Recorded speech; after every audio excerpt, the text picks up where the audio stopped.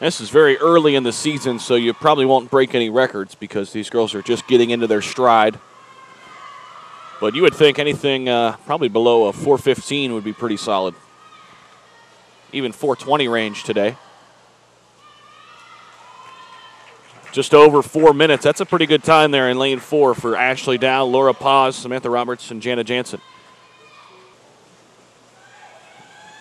Coming down the stretch here, you see your teammates cheering on Hannah Martin too because they know how important it is for those two to finish in the top of the pack. Well, we've got Hannah Martin actually in, in the third spot. There you go. Oh, First place goes to Therese Stevens. So the Penguins again take it, and that's a great time for this time of year. Underneath two minutes for Stevens at 159.19. She also has the team record, 54.83. Guess where she said it? The Horizon League Championships back really? in February. How about that?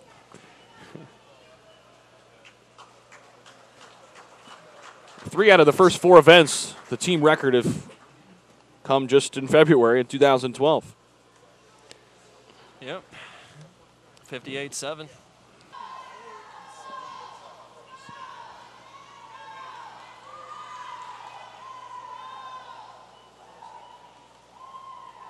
There you see first place. Goes to Roberts with a time of 108.80. So there you go. Underneath 110. And another first place finish for the Penguins.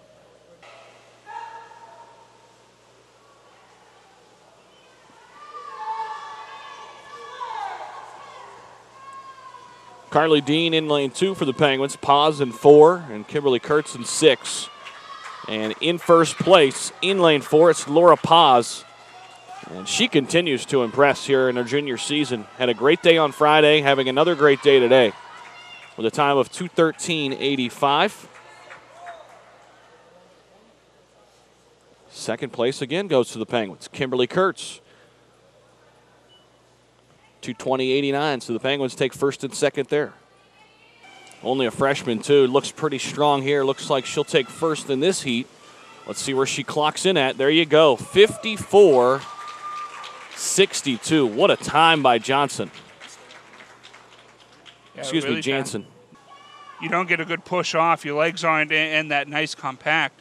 But if you get if you turn too late, they're in too tight of a thing, mm-hmm. and you really are, are, pushing, and it's really hard to get that that good push off then. So you think it's uh, more like a mental clock for this some, kind of Some event? of them it is a mental clock. They they, they they they count their strokes from the flags when they see them go overhead, so that they know maybe it's it's four strokes or three strokes or whatever before they have to do it, and it, it's really hope keeping your pace very good because if, if you don't have a good pacing, then you don't get a good turn off of it.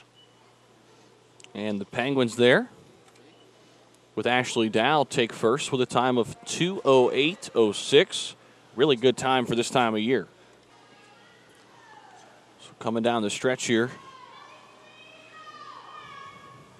Again, Penguins in lanes four and six.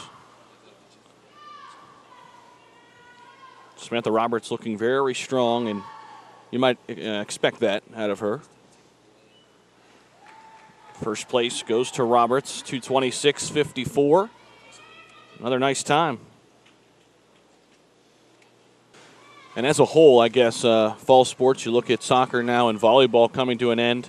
Uh, soccer already ending their season, but uh, two teams there that have really improved. Yeah, definitely. They are.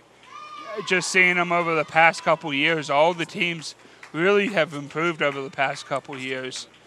And they, they, they're a lot stronger, a lot more competitive now than what they have in the past.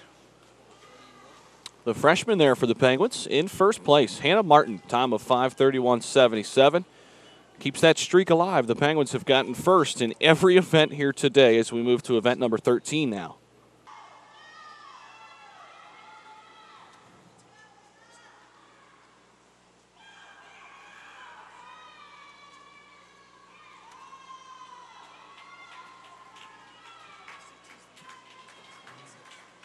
Great job by Megan Siempa in lane six. Comes in with a time of 449.42.